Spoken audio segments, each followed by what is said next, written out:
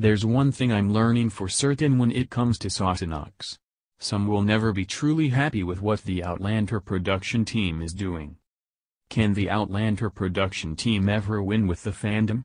It's something I'm asking myself at the moment when I read some comments. It seems like there is always something to complain about and sometimes I just don't understand it. Now, don't get me wrong. There are elements of the episodes that I don't like. I don't always agree with dialogue choices or even why the showrunners decide to use certain music in episodes, but that's due to personal choice. However, there is always something to love about the episodes. One thing I don't ever mind is changes to the book.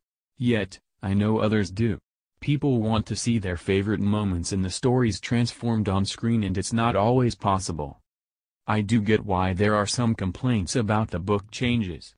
Some people have read the books since they were first released almost 30 years ago. This is a huge world and it can feel like a lot is missing when transformed to screen. But sometimes it's like the writers can't win.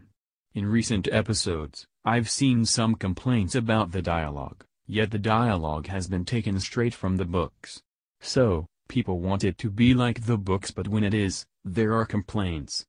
Maybe the complaints aren't from the same fans, but it's still clear that Sassenachs are so diverse that the production team can't make everyone happy. With book first and show first slash show only fans, it's going to be impossible to make everybody happy. It's no wonder that sometimes it feels like the showrunners are doing what they want and not listening to feedback. Considering the mixed opinions from the fan base, it's not surprising the production team will do what they feel is right for them. They can't win anyway, so why not do what they love to do? What have you thought about Outlander Season 4? Are you a book first or show first fan? Can the production team win in a diverse fan base? Share your thoughts in the comments below.